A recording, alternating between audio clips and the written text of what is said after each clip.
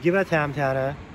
I would tell my 21 year old self that personal happiness lies in knowing that life is not a checklist of acquisition or achievement. Your qualifications, your CV, are not your life. Though you will meet many people of my age and older who confuse the two. Life is difficult and complicated and beyond anyone's total control. And the humility to know that will enable you to survive its vicissitude. You might never fail on the scale I did. The some failure in life is inevitable. Is inevitable. It is impossible to live without failing at something.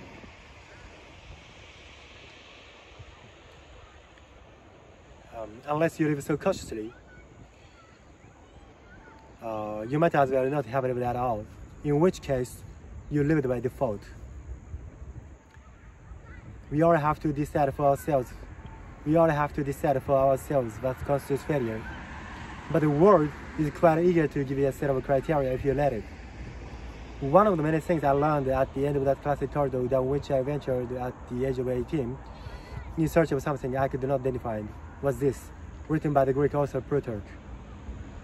What we achieve inwardly will change outer reality. That is an astonishing statement and yet proven thousand times of every day of our lives. It expresses in part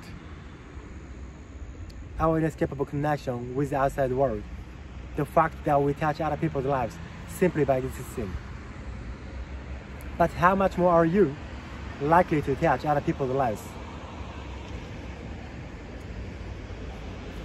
Your intelligence, your capacity for hard work, the education you have earned and received, give you unique status and unique responsibilities.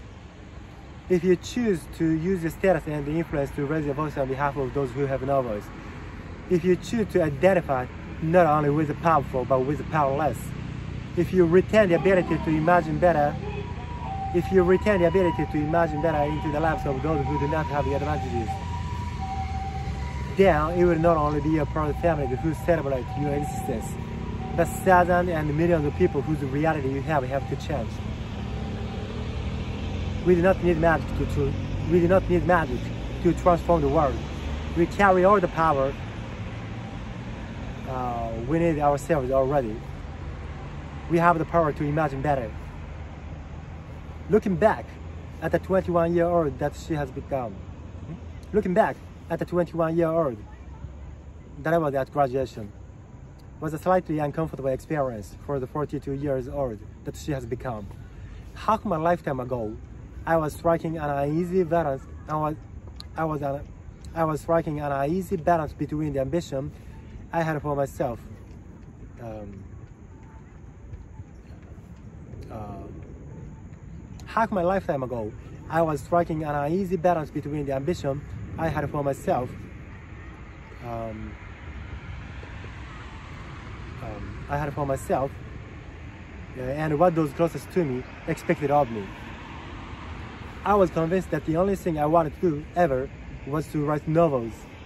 However, my parents, both of whom came from impoverished backgrounds and neither of whom had been to college, took the view my overactive imagination um, was an amusing personal quirk that would pay our mortgage or a secure pension. I know that the irony strikes with the force of a cartoon until now, so they hoped that I would take a vocational degree um, and I wanted to study English literature. A compromise was reached that we in retrospect set by nobody. Um, and I went up to study modern languages. Hardly had my parents car rounded the corner at the end of the road, then I ditched German and scattered off down the classic corridor. I cannot remember telling my parents that I was studying classics they might well have found out for the first time on graduation day. Of all the subjects on this planet, I think they would be hard put to name one less useful than Greek mythology when it came to securing the keys to an executive bathroom. I would like to make it clear in parentheses that I do not blame parents for their point of view.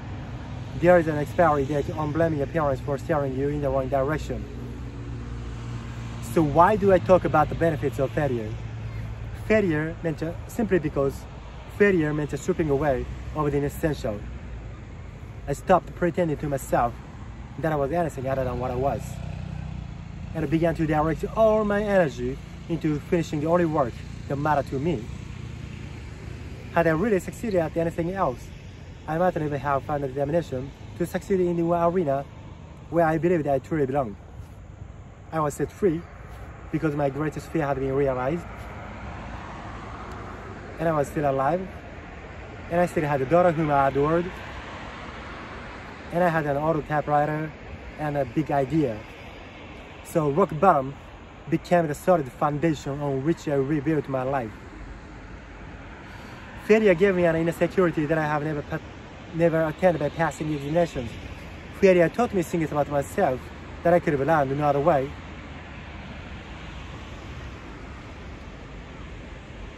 I discovered that I had a strong will and more discipline than I had suspected. Um, and I also found out,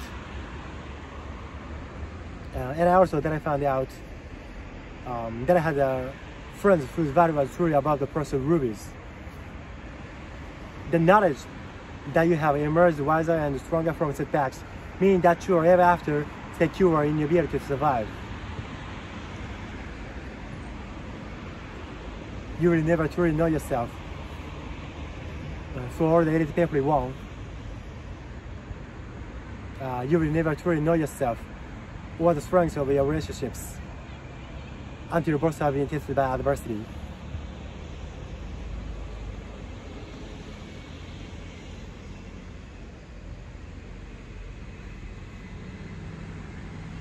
Um, I discovered that I have a strong will or more discipline and more discipline than I had suspected. Uh, and I also found out that I have uh, friends whose value is truly above the personal rules the knowledge that you have emerged uh, wiser and uh, stronger from setbacks, meaning that you are ever after secure in your ability to survive.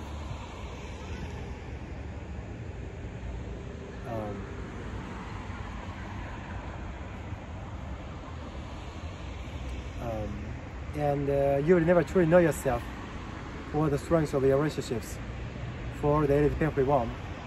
Um, or the, um, you will never truly know yourself.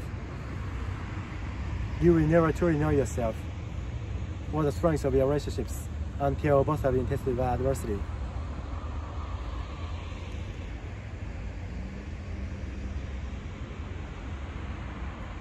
Such knowledge is a true gift for the elite people one, and it has been worth more than any qualification I ever earned. I'm nearly finished.